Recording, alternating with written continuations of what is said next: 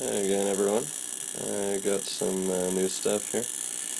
Okay, I've uh, switched completely to air core, and uh, it's just going awesome. Uh, the only coil I had wound was this. Uh, I wanted to put the primary on the outside, so I've got uh, it's counterclockwise coil and clockwise halves, and 50 nanos uh, across the one of the coil.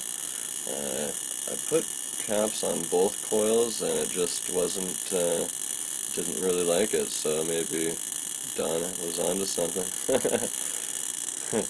um, so, yeah, earlier actually, uh, one of the lights I was using, uh, the friggin' thing got so hot it melted the end off of it, so uh, I think it's getting, I don't think they usually do that under normal circumstance.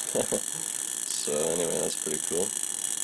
Um, yeah, things are, systems going about, I don't know, it's kind of fluctuating, but it's about half an amp or so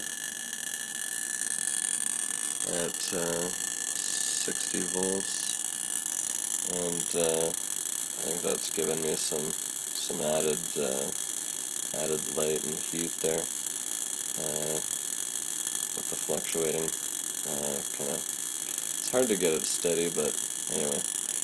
I really like using this total air core design. Um, yeah. I think these diodes are giving me some trouble though the ground fault going off. But uh, yeah, I switched back to the small, uh, small point uh, spark gap there, and I don't know. It just seems like like I had to turn up the voltage so high on this one. So, uh, and it was making some heat. So I think these being kind of cheap knobs are not really the best, uh, the best thing. But um, yeah, that's what's going on now. It's pretty sweet. And then uh, I've got uh, some other things planned. Uh, this coil here would be like uh, figure 3 on uh, that patent everyone's talking about with the reverse coil. Uh, it's one of Tesla's designs, a variant of the double helix patent 336961. Uh, so you can see here the, the coil reverses and uh, goes back up to the halfway point over top. Uh, so that's one thing I was going to do some testing on. And also uh, this coil is uh, basically a Tesla bifilar in a uh, just in a helix wrap. So, yeah, it's pretty cool.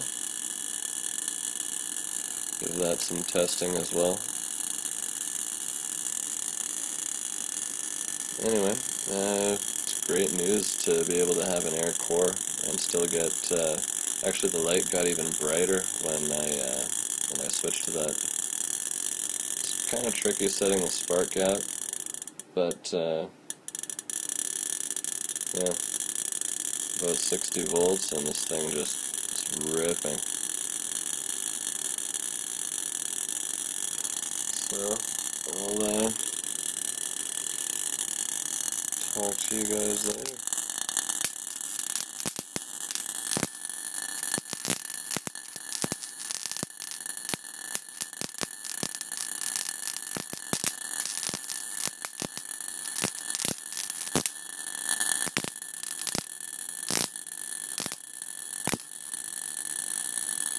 There's still some decent uh, current sparks for stepping it up.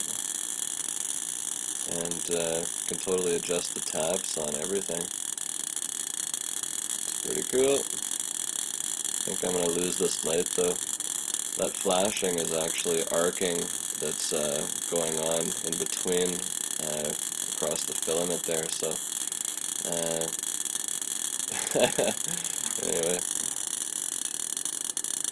anyway, just gonna try turning down the voltage a bit.